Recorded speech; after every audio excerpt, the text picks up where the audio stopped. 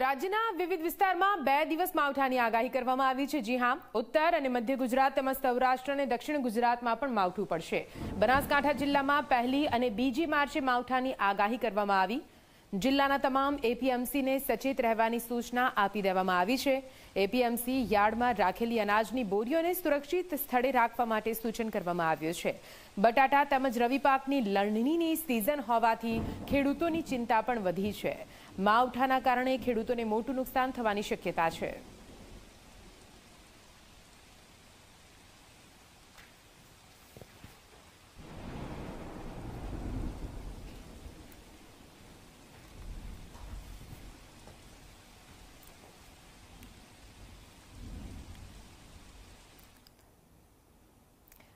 અને આ સાથે ખબર ટેનમાં બસ આટલું. પડી પણની અપડેટ માટે